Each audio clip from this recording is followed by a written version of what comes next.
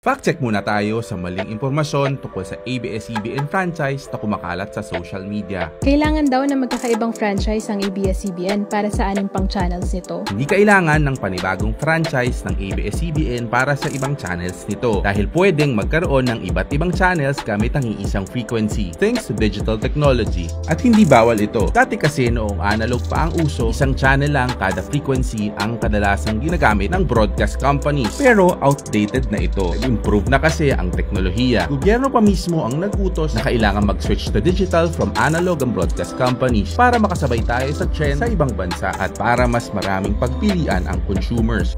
May mascot pa nga ang DICT oh. Digital Terrestrial Television Broadcasting ang itinawag nila sa paglipat ng broadcast companies to digital. At walang nakasaad sa franchise ng ABS-CBN na limitado lang ito sa isang channel o isang frequency. Ipinagbawal daw ng National Telecommunications Commission ang paniningil ng ABS-CBN ng 2,500 pesos sa Pacquiao Mayweather pay-per-view fight pero naging pasaway ang kumpanya at tinuloy pa rin ito. Yung utos ng NTC ay lumabas pagkatapos ng mabenta ng ABS-CBN ang laban. Mas marami ang nakapanood ng Pacquiao fight dahil may mga lugar na hindi naaabot ng tap. Illegal daw ang pay-per-view service ng ABS-CBN, yung KBO sa TV+.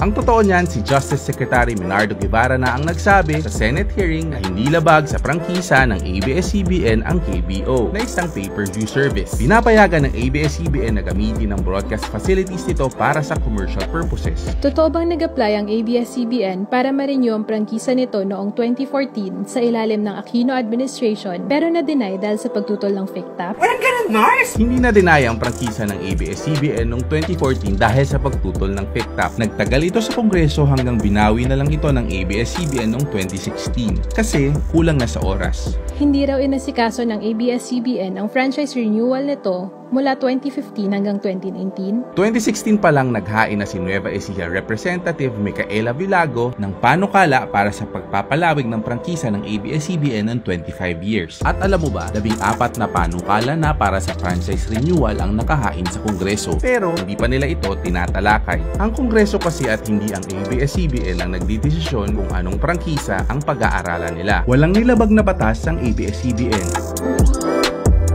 Sinabi na ito ng National Telecommunications Commission, Bureau of Internal Revenue at Securities and Exchange Commission nung humarap ang ABS-CBN sa Senado noong Pebrero. As far as ABS-CBN uh, account is concerned, uh, they are uh, regularly filing and paying their taxes for the past number of years, ma'am. Honor, we are not aware of any uh, violation or any ongoing complaint or investigation involving ABS-CBN. Meron bang penalty ang ABS-CBN with the NTC? As of now, Your Honor, wala naman. There is not. Huwag po tayong magkalat ng fake news.